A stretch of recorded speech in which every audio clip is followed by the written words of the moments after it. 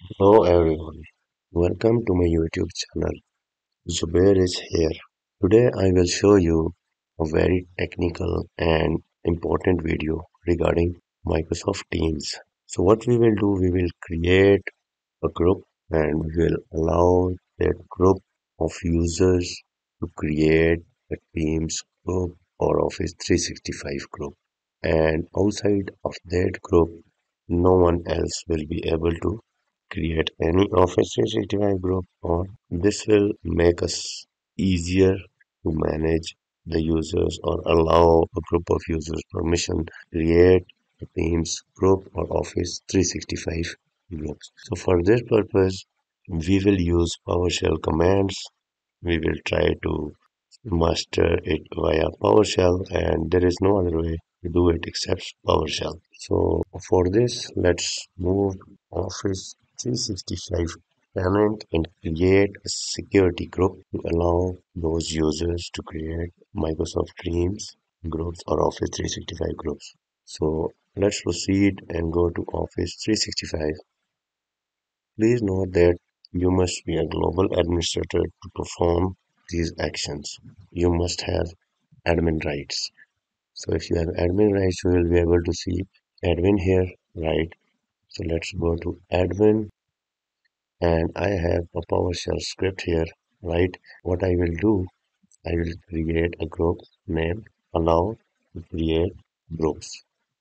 And the user of this groups will be able to create Microsoft Teams groups or Office 365 groups. So let's go and first add this security group in Office 365. Active Teams and groups. Let's go to security group and let's add a group. The name I want for this group is allowed to create a group uh, because I will add this to my PowerShell script. So method max, next, create a group. Okay, I will allow this group, only this group, create Microsoft Teams group or Office 365 group. I will add all these commands into video description so that you all can get these commands to work on. Okay, so let me close PowerShell and reopen it from scratch. Just for your understanding. Okay. Run as administrator. Okay. If you are new or you don't have installed PowerShell, uh, Azure AD Preview, right? You have to install this. I think I might have already installed this. Let's see. This is the installation command. Okay. What I want, uh, I want to do yes to all, right?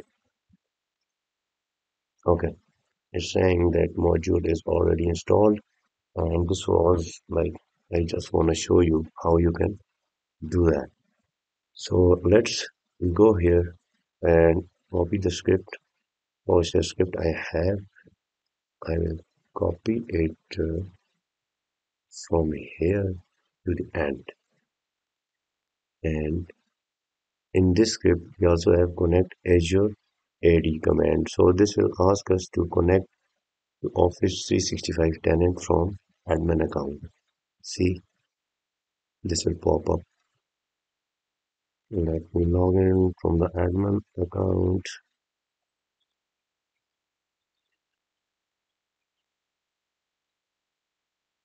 Okay. I've logged in with the admin account and it's now running all of the script into PowerShell. So it ran all of the uh, script into PowerShell and now we can see the value false here. Enable group creation false here. And we have allowed the group create Microsoft Teams. The group we have allowed is here. Let's go to that group security group. Okay allowed to create a group so let's add a user into this group and see if that user can create a Microsoft Teams or no.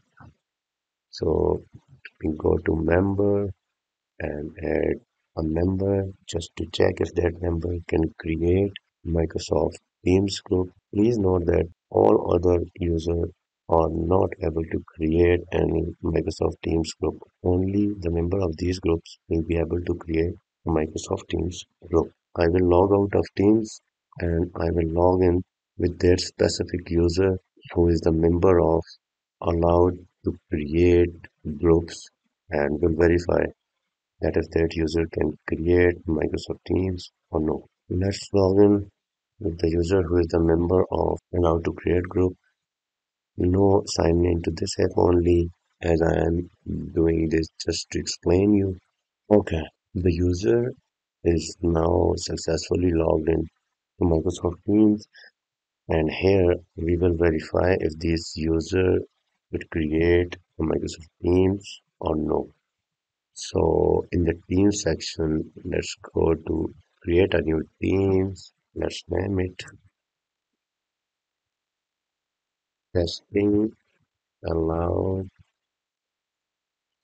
the users to create a teams. I'm, I, I named it testing just to confirm. Okay, that's great. It looks like we have created a teams right now it's asking to type a name or email of the member whom I want to edit here. Okay, good. We have created Microsoft Teams with the user that is added to allowed to create group. So now for verification, we will do it with any other user who is not the member of allowed to create a group. Okay, let's log out from here and we will log in with some other user who is not the member of. So let's verify if our PowerShell script works fine or no. So remember, verify 10 times. Always verify 10 times, right? In IT. So, okay, create or use another account. I am now logging in with the user who is not the member of allowed to create a Teams group or Office 365 group. So hopefully this will not allow us to create Microsoft Teams. I'm logged in with the user who is not the member of allowed to create group. I'm going to Teams. Okay, let's create a Teams. It's it's it's uh, see uh, I'm going on the plus icon and it's showing you don't have permission to create a Teams. So anyhow, let's try. Okay. So when I try to create a Teams here, it's giving something like this. You need to own a group with fewer than 10,000 people to create a team. So that group, please create a group first. So meaning that only users, those are in, those are the members of, those are the members of allowed to create groups. They can create groups or the teams. So only this member is able to create a group or teams for now. No one else is able will be able to create teams or group. Okay. So now let's suppose if we want to revert these settings and let's do it. What we will do, we will go to this script, right? You can anyhow you can check the status. What's the status? by this command right this status this status right you can check this status by uh, this command right this is simple here we have to paste and see now the status is false so if you want to do it to true to the normal condition as we are uh, we were earlier so what we will do we will change the script from false to true here and we will paste it in PowerShell, right? Now we want to revert the setting, right? It is important explain that how we can revert this setting because sometime we need to revert, right? So it's again asking me to connect to Azure. Let's do it.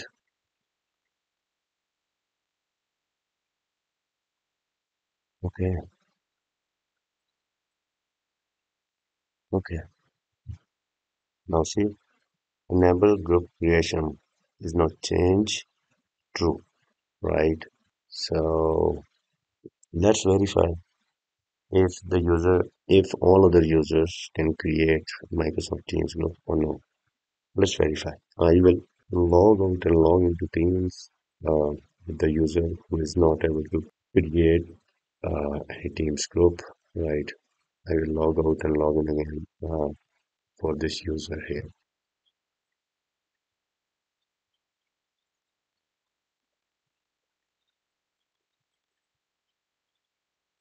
I just want to sign into this app as I'm testing this for you and you will see if the settings get reverted to normal and this user could also create a Teams or no. Okay,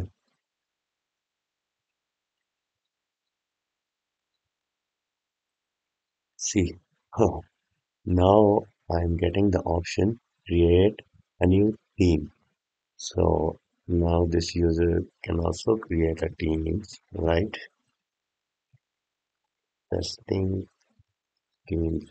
So now all the setting is reverted back to the normal.